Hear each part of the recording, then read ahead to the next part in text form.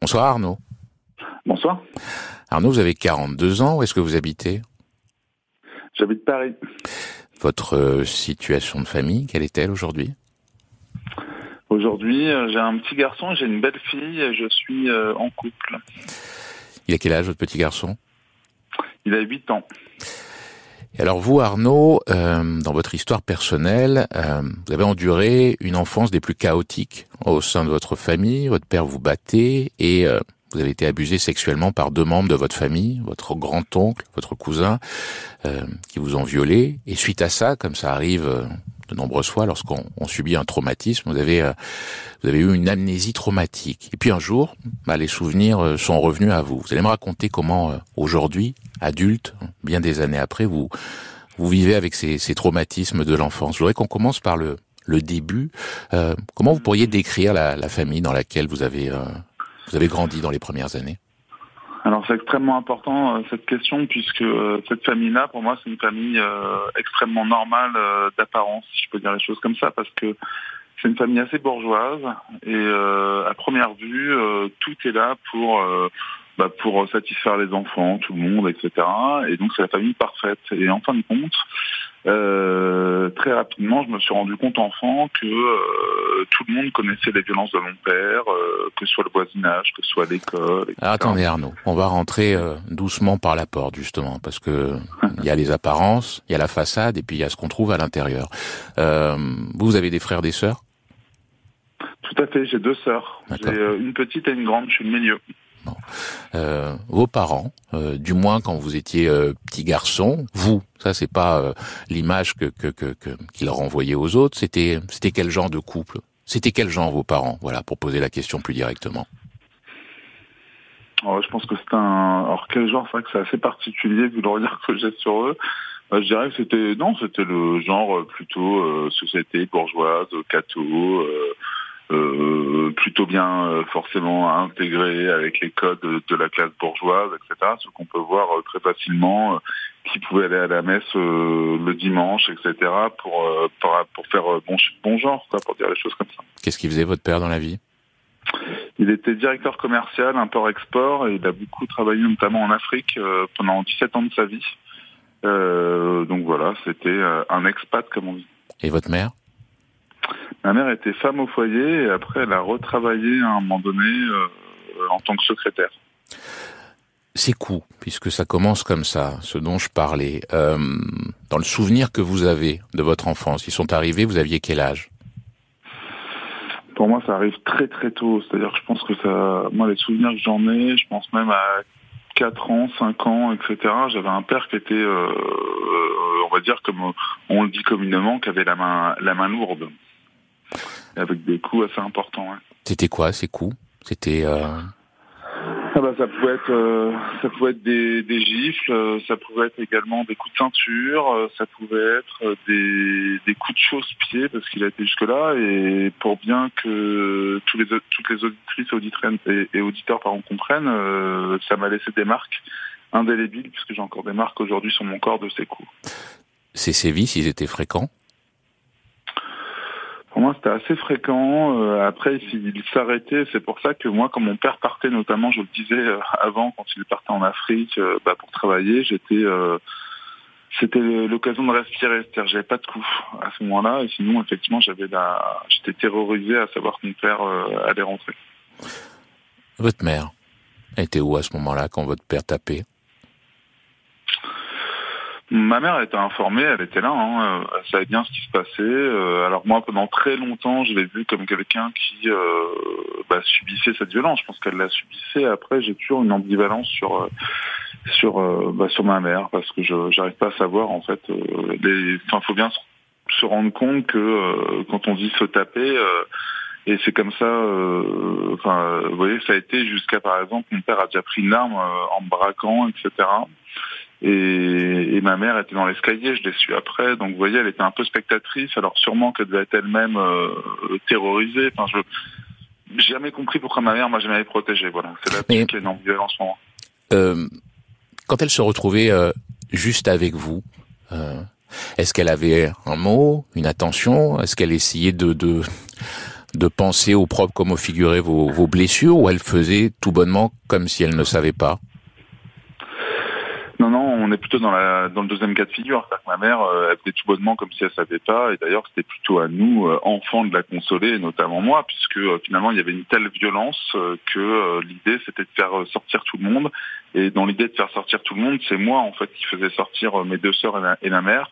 Et après, ma mère était plutôt à consoler. Et donc, je me rappelle notamment d'un temps où j'étais, je vous dis, j'ai encore une blessure, notamment, je pense à bah, sur, euh, sur un de mes bras euh, où euh, je me rappellerai toute ma vie un, le frère de ma mère qui nous accueillait souvent et qui est décédé d'ailleurs depuis m'a dit surtout ne dis rien etc alors je pense que j'aurais dû aller aux urgences et la preuve j'ai encore cette trace aujourd'hui sur le sur mon, sur mon corps.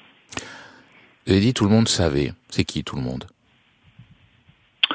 Ah bah tout le monde c'est le voisinage parce que les cris c'était voilà, c'était quand même assez courant. C'était l'école. L'école était euh, pleinement informée. Euh, c'était. Euh, Comment ça, pleinement informée? C'est-à-dire que les stigmates que vous portiez sur le corps, il était impossible de faire abstraction quand on était votre professeur, par exemple? Oui, déjà, ou sinon même ma petite sœur. Moi, je me rappelle qu'un jour, ma petite sœur a dit, alors qu'elle était toute petite, elle devait avoir 4-5 ans, elle a dit à l'école à sa maîtresse, hier, c'était la fête à la vaisselle à la maison. Donc, vous savez ce qui s'est passé Ma la maîtresse a dit, euh, enfin, euh, on a rigolé en fait, tout plate à présenterie parce que je pense que quand on est euh, dans une certaine classe, une classe bourgeoise notamment, il y a comme une, sorte de rapport de domination et du coup on n'ose pas trop remettre en question l'éducation qui est donnée et, du coup on dit rien. En fait, tout le monde se tait parce que la classe bah, dominante c'est la bourgeoisie. Quoi. A dit aussi que donc votre père partait travailler loin en Afrique. Quand il rentrait du travail, votre mère lui dressait une sorte de de listing des, des, bêtises que vous aviez commises durant la, la, journée ou durant son absence, et lui vous punissait en conséquence. C'est exactement ça, c'est-à-dire que euh, ma mère, je pense que par souci euh, de, lui transmettre ce qui s'était passé en son absence, lui donnait notamment euh, des informations concernant les bêtises qu'on faisait. Et, et mon père, du coup, bah, c'est plus que punissait, c'est-à-dire que je dirais nous corriger, pour dire les choses de cette manière-là, nous battait, nous violenter, puisque euh, moi j'avais, euh, enfin voilà, euh, je vais le dire de cette manière-là, mon père le disait comme ça, hein, c'est-à-dire c'est je vais te mettre une branlée, quoi. Vous voyez ce que je veux dire? Donc ça veut dire que derrière moi, en tant que petit garçon, avec toute la représentation que mon père avait de faire de moi un homme, euh, m'infliger euh, des coups qui étaient assez importants, je pense, pour que je sois en capacité de les, de les supporter au maximum. Une violence que je rejette pleinement aujourd'hui, qui m'insupporte euh, à un tel point que j'en fais effectivement mon combat. Comment vous le considériez, votre père? Évidemment, j'imagine que vous en aviez peur. Est-ce que le petit garçon que vous étiez euh, euh, échafaudé euh, Est-ce que vous, vous, faisiez reporter la faute à vous-même? Vous le voyez tel qu'il était vraiment, c'est-à-dire un, tortionnaire? Qu'est-ce que qu'est-ce qu'il y avait Qu'est-ce que vous compreniez de, cette violence à ce moment-là, vous? Alors mon père, et je pense que c'est grâce à ça, vous voyez, je dois beaucoup au petit garçon que j'étais. mon père, je l'ai jamais aimé. Voilà, je le dis de cette manière-là, de manière très très dure peut-être, mais je pense que grâce au petit garçon que j'étais, qui a très rapidement compris que c'était pas normal. En fait, je l'ai pris à distance. En fait, donc les coups, il me les infligeait, mais euh, il n'était nullement affectif. Je les ai jamais pris comme une marque d'amour. Voilà, pour le dire de cette manière-là, c'est peut-être un peu fort de le dire comme ça, mais quand même, parce qu'on sait très bien que dans les mécanismes d'emprise, souvent, en fait, il y a souvent des excuses qui viennent après en disant oui, mais parce que je t'aime tellement, c'est passionnel, etc. Sauf que moi, le petit garçon que j'étais, pour je sais pas quelle raison, avait compris très rapidement que euh, bah, c'était pas de l'amour tout ça, et, finalement euh, rejeter cette violence. Et donc mon père, je le dis, et je, je le dis encore plus aujourd'hui, je dirais que c'est mon géniteur, et que euh, je ne l'ai jamais aimé. Euh, enfin voilà. Dites-moi, euh, vous parliez de l'école, où on prenait tout ça à la légère. Est-ce que, est-ce que vous aviez des amis? Est-ce que vous arriviez à suivre à l'école? Ou dès le début, cette, cette enfance traumatisée vous, vous a fait sortir totalement du, du circuit, du circuit lambda? Ben à l'école, je veux dire comme ça avec un peu d'humour, je pense que j'étais long à l'école. C'est-à-dire qu'à l'école, j'arrêtais pas de sauter partout, j'étais le gamin qui avait du mal à rester en place. Euh, je pense que je j'arrêtais pas d'alerter et à l'école, euh, oui, je pouvais avoir, on va dire, euh, j'étais pas le dernier à rigoler, etc. J'ai jamais été agressif avec personne. Alerter inconsciemment, vous voulez dire? À trop en faire, ça, ça oui, d'accord. Exactement. C'est-à-dire qu'après, j'avais très peu de copains, si ce n'est, euh, bah, si, ce, si ce n'est euh, un, un, copain qui s'appelle Jérôme, euh, qui euh, que j'ai eu en C20 et que je maintiens toujours aujourd'hui. Jérôme, il vous est jamais passé à, par la tête de lui dire euh, ce que vous enduriez, ou lui savait aussi et puis il y avait un non-dit? Jérôme, je pense que c'était aussi une bouffée d'oxygène. Après, je peux pas euh, savoir. Vous savez, on avait on avait 7 ans. Mmh. Euh, et je pense que moi, très rapidement, euh, d'ailleurs, je me faisais inviter chez lui par moment, je voyais une forme de normalité et euh, je me disais, bah tiens, c'est ça une vraie famille. Et puis, il y avait différentes choses qui se passaient, donc du coup, je prenais peut-être du plaisir à aller chez lui en me disant bah tiens c'est une ça me permet de respirer quoi. Donc après je suis pas forcément convaincu que cette violence là Jérôme ou ses parents en avaient en avaient connaissance. Je pense que comme ils étaient un peu plus loin que, que là où vivaient mes parents je suis pas forcément convaincu qu'ils étaient informés. Vous aviez une passion, vous aviez un refuge, vous, dans lequel vous pouviez vous immerger pour vous mettre à l'écart de tout ce qui se passait à la maison? Alors oui, j'ai eu euh, une, euh, enfin j'ai eu j'ai eu plusieurs passions, mais notamment le sport. Le sport, ça m'a énormément aidé. J'ai fait beaucoup de tennis, j'ai fait du rugby, etc. Et c'est vrai que cette euh, le sport, c'est vrai qu'on en parle souvent aujourd'hui dans les médias. Il y a juste titre en se disant voilà faire attention, on parle de violences sexuelles, etc. Différentes violences dans la relation que peuvent avoir les coachs avec les avec les enfants, et on en parle finalement si peu. Et pour moi, c'est tellement important d'en parler aussi comme une vraie forme de reconstruction. Pratiquer quoi comme sport? Je faisais euh, beaucoup de beaucoup de tennis, même à, un bon niveau, et puis beaucoup de, et puis je le faisais très souvent. Et c'est vrai que pour moi, c'est quelque chose qui m'a permis, euh, j'en suis convaincu, de de me réconcilier avec moi-même et, avec un corps qui avait été quand même bien mis à mal. Et ça, c'est sûr que c'était quelque chose d'extrêmement important. Les mots du soir, ce mardi, sur France Bleu, jusqu'à 23h, la libre antenne qui vous est entièrement dédiée avec, euh, depuis quelques minutes, Arnaud, 42 ans, une enfance broyée par, euh, par la violence au sein de sa propre famille. Vous m'avez parlé, Arnaud, de de ce père qui, qui très tôt vous a vous a battu. En début d'échange, je, parlais aussi euh, d'agressions sexuelles, de viols euh, euh qui ont été euh, commis par d'autres membres de votre famille. comment c'est arrivé? Quel a été votre premier agresseur? Mon premier agresseur, ça a été un, un, prêtre missionnaire qui était également un grand-oncle et qui s'était lié d'amitié avec mon père au Gabon. Donc voilà, donc la porte d'entrée de cet agresseur, c'est mon père.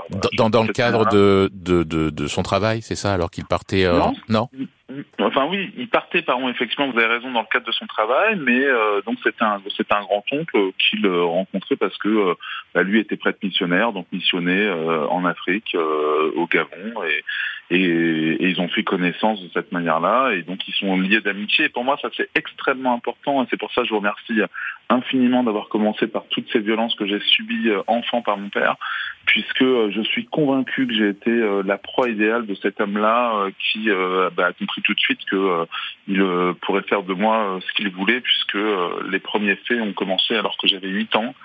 Et à 8 ans, euh, un adulte, euh, bah, le rapport est plus que disproportionné. Euh, à quelles occasions vous, vous étiez amené à rencontrer ce, ce, ce grand-oncle?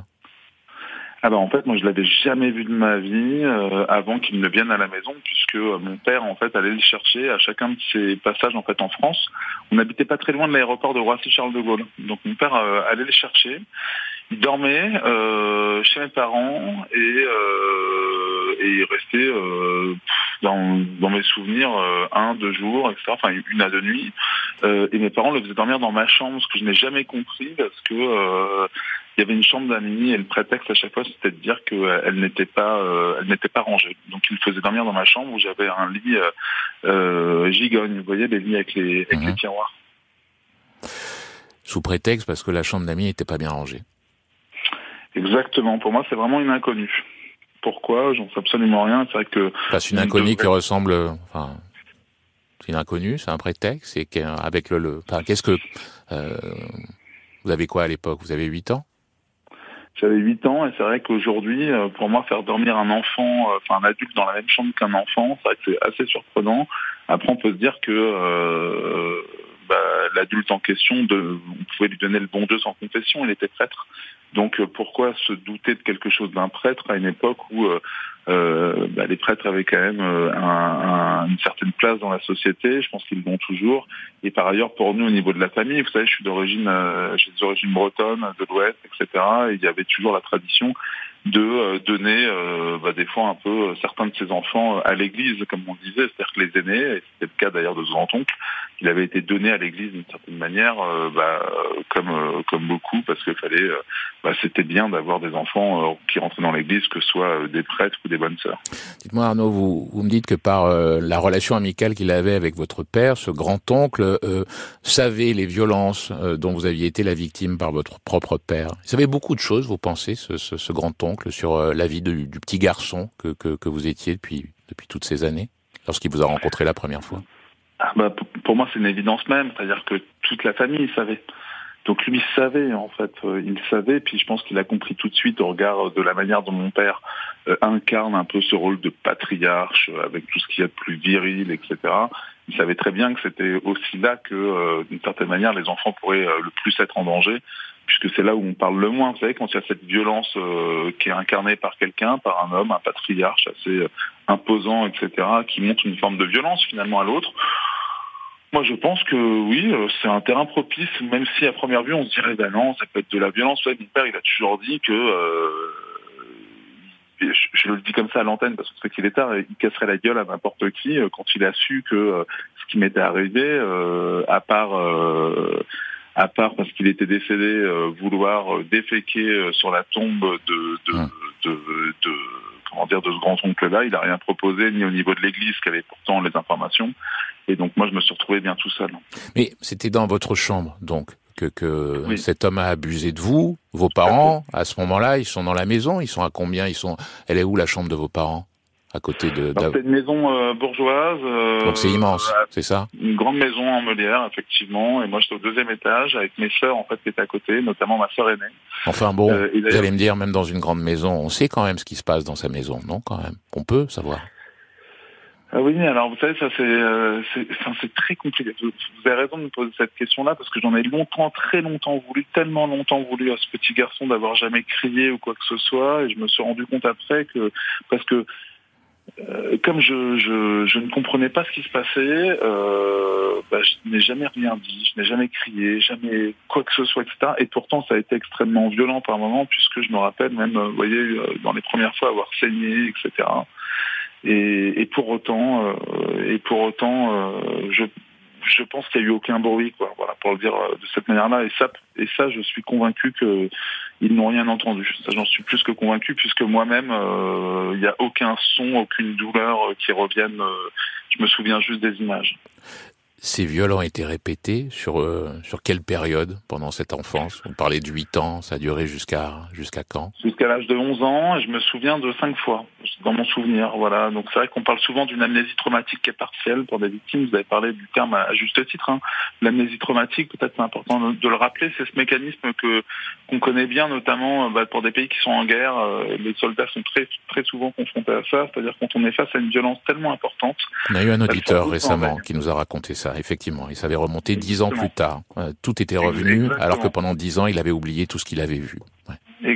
Alors c'est très juste. Et puis vous voyez, pour mon grand oncle, que les personnes comprennent bien, c'est que comme on n'a pas le logiciel quand on est enfant, quand on a 8 ans, on comprend pas ce qui se passe. Et puis on vit dans une société où on nous dit euh, oui, bah, tu comprends, euh, fais attention dans un parc s'il y a quelqu'un qui vient te voir qui te donne un bonbon, ou s'il y a quelqu'un qui t'attrape de manière forte, etc. on était dans le truc où on se faisait, où il y avait des enfants qui pouvaient être enlevés, etc.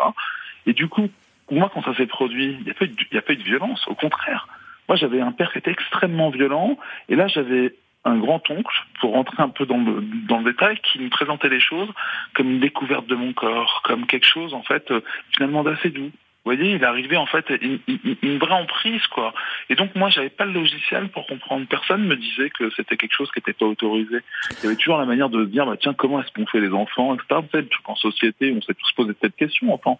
Et donc, à aucun moment, moi, je me suis dit que pas que, ce que je vivais là n'était pas normal. Bien sûr cet homme, donc, il venait, il passait un séjour dans votre famille, puis il repartait. Euh, euh, quand vous saviez qu'il allait revenir, est-ce que euh, vous redoutiez son retour? Ou alors vous étiez tellement dans le dans le déni et l'incompréhension de la gravité des, des, des, sévices qui vous étaient infligés que, que vous ne vous rendiez pas compte de ce qui allait se passer? C'est exactement ça. C'est-à-dire que j'étais dans, ouais, dans, l'incompréhension. C'est-à-dire que moi, je le revoyais revenir. Et puis voilà. Et puis, je me rappelle même, enfin, il allait plus loin, puisque quand j'allais, moi, des fois, chez ma grand-mère qui, qui, qui, habite en Anjou, lui, son malin plaisir, c'était de nous suivre, en fait, en voiture, ben, de suivre les ados en voiture quand on faisait du vélo. Et après coup, je me dis, mais c'est dingue cet homme-là, ce qu'il a réussi en fait à faire. Mais moi, sur le moment, en fait, l'emprise est telle, l'incompréhension est telle que je le vois pas comme quelque chose qui vient, euh, comment dire, quelque chose de coercitif. Je ne le comprends pas. J'ai pas le disque dur pour comprendre. Le disque dur, je l'ai bien plus tard quand je comprends. Qu'est-ce qui fait que à 12 ans, ça s'est arrêté? Eh ben, c'est très simple, il est parti à la retraite en fait. Il est parti à la retraite et j'ai en souvenir surtout que euh, l'année de sa retraite, donc euh, quand j'ai 12 ans, euh, il revient à la maison et il revient à la maison avec, euh, pour la dernière, pour son dernier voyage, avec un, garçon qui s'appelait Placide à l'époque, qui avait 17 euh, ans, qui venait du Gabon et qui était, parce que lui s'occupait en fait des jeunes ados qui allaient être ordonnés prêtres. Vous savez, dans les pays euh, où euh, bah, vous avez euh, bah, une certaine précarité, etc., bah, pour certains, c'est une forme d'issue, un peu de secours, quand si je peux dire les choses comme ça. Et lui, en fait, est venu à la maison. Et pourquoi j'en parle là? Parce que j'ai été marqué, mes parents l'ont confirmé d'ailleurs. cette fois-là, donc à 12 ans, il va même jusqu'à aller dans la douche avec Placide, donc chez mes parents, sans que ça n'interpelle personne. Les choses me sont revenues après. Vous voyez, quand on parle d'amnésie traumatique, quand on parle d'amnésie traumatique partielle et quand les faits nous reviennent, toutes ces choses-là qui m'ont été confirmées par la suite. Alors, vous allez me euh, raconter justement combien d'années il a fallu attendre pour que pour que ces souvenirs remontent et que vous repreniez un petit peu possession de votre vie. Vous restez avec moi, on va poursuivre cette, euh, cet échange. Et depuis le début de cette émission, j'échange avec euh, Arnaud, 42 ans. Vous m'avez parlé de cette enfance écrasée par par le poids de la violence intrafamiliale, ce père qui vous bat depuis que vous aviez deux ans, les agressions sexuelles, les viols de ce de ce grand oncle, et puis euh, comme une conséquence logique, j'allais dire entre guillemets, euh, l'amnésie traumatique. On oublie ensuite. Euh, combien de temps vous avez vécu entre guillemets sans sans ne vous rendre compte de rien? Par exemple, cette adolescence, une fois que les, les, viols ont, ont, cessé, comment vous l'avez comment vous l'avez traversée ah, pour moi, comment je l'ai traversé, ça a été, ça a été terrible. C'est-à-dire que j'ai eu, je pense que j'ai cherché à manifester en fait cette souffrance que j'avais et que personne n'a entendu. Du coup, j'ai été, euh, parce que je disais tout à l'heure, j'ai été zébulon. En même temps, j'ai pris quand même euh, pas mal de, de enfin, j'ai pris quand même pas mal de drogue également, beaucoup de shit notamment, euh, de l'alcool. Euh, bref, j'allais très très mal, quoi. Et puis surtout aussi, chose très très importante, c'est que, bah, vous savez, tout ce qui était attirance pour moi sexuelle, vous voyez, je suis hétérosexuel aujourd'hui euh, bah pour moi c'était pas possible en réalité. C'est-à-dire que comme j'avais pas le disque dur pour comprendre ce qui s'était passé, je me disais que bah, je devais être homosexuel. Vous voyez, ce qui est pas une part, bien évidemment, on est d'accord, mais évidemment, ce qui veut dire que ce qui veut dire que ça jouait, euh, ça jouait sur euh, sur ma sexualité à un point où je me rappellerai toute ma vie. Euh, il y avait une, une jeune euh, fille de, de, on était en sixième, euh, qui était euh, une belle fille dans l'école, etc., dans le collège, qui voulait sortir avec moi. Vous voyez, il y a tout le processus avec les ados, etc j'étais parti en courant. Moi. Je me disais non, c'est pas possible, etc. Tellement que ça m'avait euh, traumatisé euh, qu'une jeune fille puisse être euh, attirée par moi. Et en fait, c'est exactement ça. C'est-à-dire que les conséquences étaient telles que, bien sûr, ça m'a complètement chamboulé parce que j'avais cette incompréhension et, l'amnésie, pour que les personnes comprennent bien, c'est que l'amnésie traumatique partielle, bah, le cerveau se souvient uniquement de certaines choses. Donc moi, les certaines choses, bah, c'était pas les, les, pas toute la stratégie de l'agresseur, au contraire, c'était des moments où, euh, bah, certes, j'étais complètement dissocié, donc je sortais de ce corps, et puis euh, bah, je pouvais même euh, bah, vivre bah, des, des, situations improbables que je n'avais pas désirées, bien évidemment, mais c'est celle-là, en fait. Comme quoi, par exemple? Bah, comme je vais le dire de manière très crue ici au niveau des auditeurs, comme bah, comme une sodomie par exemple, voyez, comme quelque chose d'assez dur qu'on comprend pas et on se dit mais comme je l'ai pas rejeté, comme j'ai rien dit, comme j'ai pas bougé, comme j'ai pas crié, comme j'ai pas, enfin j'en sais rien, bah, ça veut dire que forcément je suis, je suis consentant. Vous voyez, il y a quelque chose d'assez terrible, quoi. J'entends. À quel âge euh, et dans quel contexte, la toute première fois, vous avez commencé à prendre conscience euh, de ce qui vous était arrivé, de ce que vous aviez enduré? Est-ce que vous en souvenez de ça? Ah bah bien sûr, je m'en souviens très bien, c'est à l'âge de 19 ans et je m'en souviens tellement que euh, c'est aujourd'hui aussi euh, quelque chose qui me semble tellement important de prendre la parole comme ce soir parce que c'est grâce aux médias. En fait, j'étais devant un reportage sur France 3, un reportage qui était sur la pédophilie. À l'époque, on disait plus que pédocriminalité dans l'Église. Euh, et j'ai entendu des personnes victimes parler. Et vous savez, vous avez ce processus d'identification dont on parle finalement assez peu, mais qui est tellement puissant. On s'identifie parce que euh, on a vécu la même chose, on se comprend. Et moi, en fait, c'est grâce à des personnes qui parlaient à la télévision, grâce à donc certains de vos confrères penseurs qui euh, ont eu euh, bah, le, le, le, je dirais le, le, génie de faire ce, ce, ce reportage-là, et parce que ça a été diffusé que euh, bah, ça m'a parlé et que j'ai pu et que j'ai pu de manière tout à fait spontanée, je m'en parlerai toute ma vie. Mes parents étaient tous les deux devant la télé, regardaient ce truc-là, et, et moi je dis à mes parents, c'est ce qui m'est arrivé c'est sorti tout seul, quoi. Quelque chose qui est de l'ordre de, euh, vous voyez, c'est comme si c'était mon corps qui se réparait une première fois par mes mots. Qu'est-ce qu'ils disent aux parents quand ils voient leur enfant, ce jour-là, à 19 ans, dire « ça m'est arrivé » Alors, premier réflexe, donc ma mère me demande euh, des détails, etc. Donc, je lui explique. Et elle me dit, on s'est fait avoir. J'ai jamais compris. On s'est fait avoir. Dit, on s'est fait avoir de quoi? Moi, je pensais qu'elle allait me serrer dans ses bras, etc. Enfin, vous voyez, c'était tellement difficile pour moi, en plus de, de bah, cette violence, de comprendre ce qui s'était passé, etc. Et vous savez, j'ai compris il y a peu de temps le on s'est fait avoir. Je l'ai compris grâce à Camille Kouchner, notamment, et son livre La famille à grande et, et, tout ce qu'il y a eu derrière. Et Ça voulait dire quoi, ce on s'est fait avoir dans la bouche de votre mère, alors? Bah, ça veut dire qu'elle avait confiance en cet homme-là. C'est-à-dire que cet homme-là, qui on pouvait donner le bon Dieu sans compassion, euh, qui était en plus son grand-oncle, la mère lui faisait confiance. Et moi, j'en suis convaincu. Après, il y a sûrement eu, je passais des maladresses, il n'aurait jamais dû, encore une fois, me faire dormir dans ma chambre. Mais euh, elle ne le voulait pas. Et donc, bien sûr qu'elle s'est fait avoir, elle s'est fait avoir d'une certaine manière. C'est-à-dire qu'elle avait une confiance euh, entière en cet homme et, euh, et, pour elle c'était exactement aveugle comme beaucoup euh, d'ailleurs de, de, parents envers des adultes. Et votre père, il était présent devant la télé ce jour-là quand il entend son fils dire ça? Est-ce que lui réagit? Sais, mon père, euh, oui, il réagit, mais il a toujours amené tout à lui. Donc euh, lui, je, c'est ce que je disais tout à l'heure très rapidement, c'est que lui, la seule chose qu'il m'a proposé, euh, c'est d'aller, je veux le dire comme ça pour bien montrer que l'image de mon père, c'est d'aller faire caca sur la tombe bah, du prêtre en question. Donc mmh. il n'a pas proposé grand-chose. Il n'y a pas d'affect en fait. votre mère tombe des nues et aucun affect. Vous êtes seul à ce moment-là, donc vous commencez tout à peine à, à, à à, à, voir euh, au fond ce qui sans doute s'est passé, vous commencez à le comprendre et, vous retrouvez tout seul, même en le verbalisant. Ouais, ouais, puis alors ça arrive en plus à un moment, vous avez raison de dire ça, et puis ça arrive à un moment où euh, je commençais à être en dépression. Tu sais, j'étais très mal, il y avait un médecin qui m'avait euh, donné quelques, quelques cachets, etc. J'étais extrêmement mal. Et donc, j'ai cette lumière qui apparaît d'une certaine manière grâce au reportage.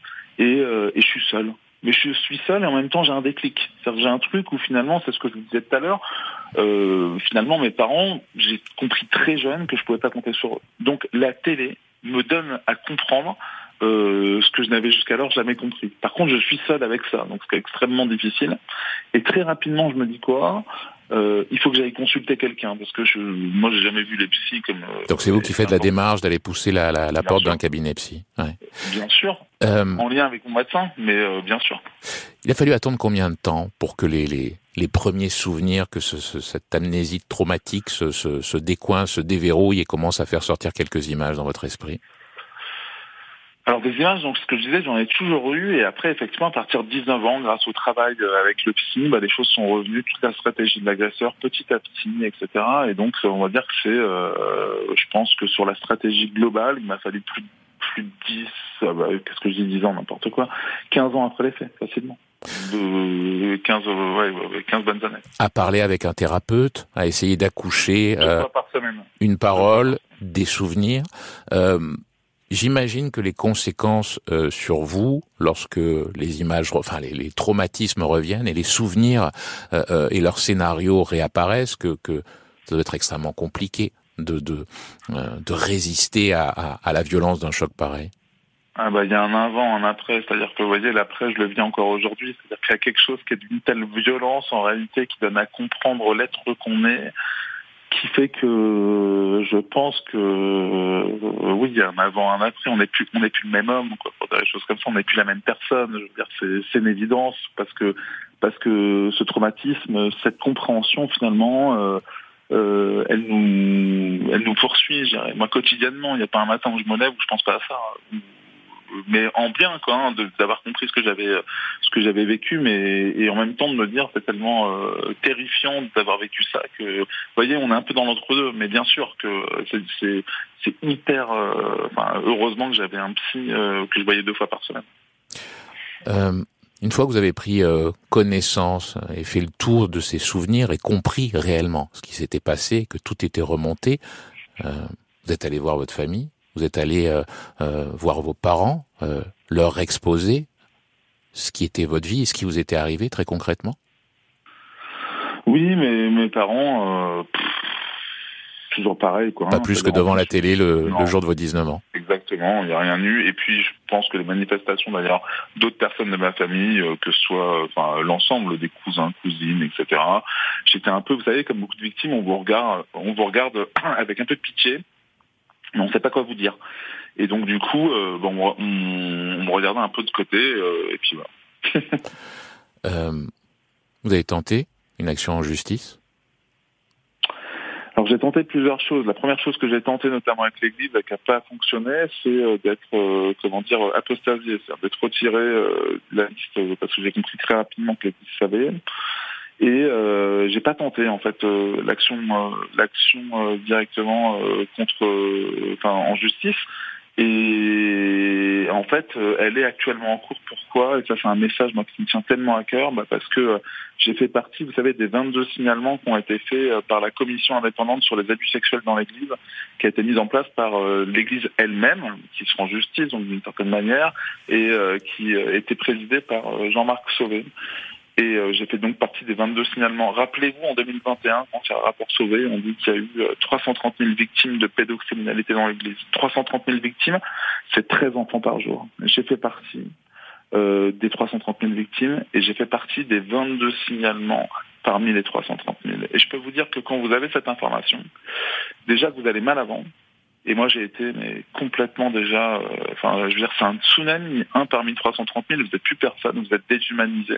Et quand vous faites partie de 22 parmi 330 000, alors là, vous avez l'impression d'avoir gagné au loto, quoi. Vous voyez, je le dis avec un peu d'humour. Vous dites, que mmh. c'est complètement ahurissant, ce truc. Et vous dites que l'Église savait n'a rien fait. Et pour moi, C'est-à-dire que l'Église savait, c'est-à-dire qu'elle savait que votre grand-oncle euh, euh était un agresseur. Il l'a été euh, à votre rencontre. Il a été sur d'autres enfants. C'est ça? Bien sûr, bien sûr. Bah, moi, j'ai eu euh, en plus des oncles, etc., qui ont parlé, euh, enfin un oncle a parlé, euh, des cousins, enfin des personnes de la famille, encore récemment euh, un, un, un grand-oncle de ma mère qui a bien dit lui aussi. Enfin bref, un neveu par mon, mon, mon arrière-grand-père, etc., enfin de mon grand-père par exemple qui a parlé. Ben, bien sûr, bien sûr que l'Église savait et n'a rien fait. Donc ça veut dire que pour moi il y a quelque chose qui est, qui est d'autant plus terrifiant. Vous savez, c'est le fameux grâce à Dieu les faits sont prescrits. D'ailleurs, moi quand j'ai été les voir pour leur demander des comptes, une des premières choses que m'a dit le responsable de la congrégation, c'est de me dire vous avez un avocat J'ai dit bah oui, parce que les faits étaient signalés. Donc j'ai maintenant c'est en cours d'ailleurs, hein, il y a une instruction en cours. Euh, et, je leur ai dit mais euh, et il m'a dit mais ah bah votre avocat a dû vous le dire. La prescription pour des faits de non dénonciation c'est quatre ans. Voilà. Donc vous savez, grâce à Dieu, les faits sont prescrits. Euh, François Ozon a fait un film euh, sur l'affaire effectivement de, de, de, la parole libérée, donc euh, des, de, de, ce collectif de, victimes qui a notamment attaqué le cardinal Barbarin pour non-dénonciation de crime. Et la réponse malheureuse du cardinal Barbarin, grâce à Dieu, les faits sont prescrits, bah, s'applique bien évidemment malheureusement à d'autres victimes, dont moi et dont bien d'autres. Arnaud, je le disais tout à l'heure, vous avez dit que vous aviez un, un, petit garçon, vous êtes devenu papa il y a quelques années. À quel âge vous êtes devenu père, vous? Euh, je suis venu père, c'est une bonne question, vous me prenez de cours à 39 ans. Ah, non, pas n'importe quoi, pas 39 ans, 34 ans. Bah oui, n'importe quoi, non, enfin, voyons, l'âge de son fils, on doit savoir quand même. Enfin, ah pas très bon en soustraction, je l'admets, peut-être, enfin bon, quand même. Euh, c'est exactement ça. Bêtise mise à part, euh, j'imagine que devenir père, euh, c'est important, mais pour vous, ça doit être aussi un moment délicat. Est-ce que, est-ce que vous avez appréhendé euh, euh, que ça soit le plus beau jour du monde, certes, mais aussi euh, fort de ce qu'a été votre père à votre égard, même à votre rencontre. Est-ce que vous avez, est-ce que vous avez eu peur quand vous êtes devenu papa? Ah non, j'ai pas eu peur. J'ai toujours voulu euh, avoir euh, un enfant, des enfants. pour moi, c'est tellement. Euh, mmh. Justement, j'ai toujours regardé, encore aujourd'hui, avec tellement d'émerveillement, justement, des enfants tels qu'ils sont, et en me disant, mais pourquoi est-ce qu'on les. Enfin, comment c'est possible, en fait, sans comprendre?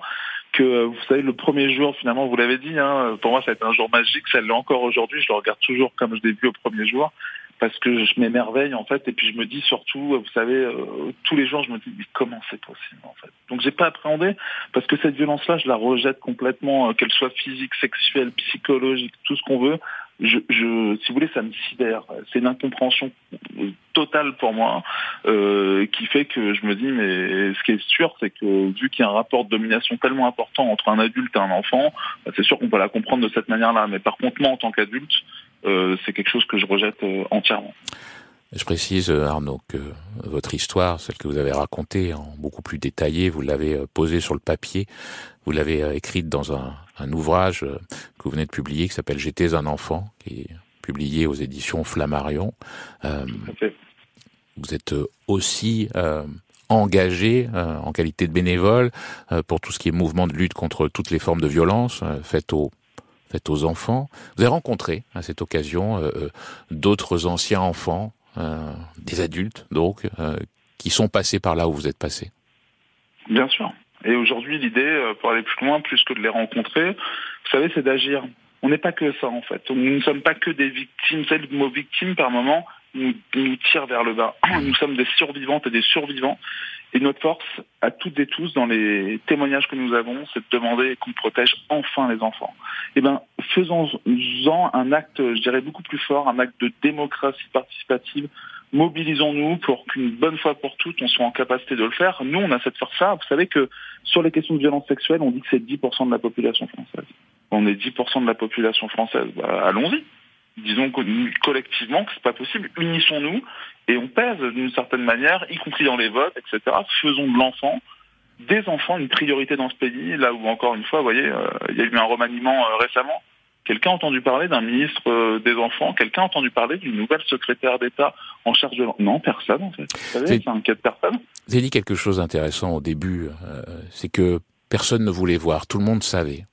Ça, c'est pas une histoire de classe sociale, c'est une histoire de quoi, selon vous? Qu'est-ce qui fait que euh, face à, la détresse d'un enfant, face à la détresse tout court, bah, finalement, on choisit de baisser les yeux et de faire comme si de rien n'était?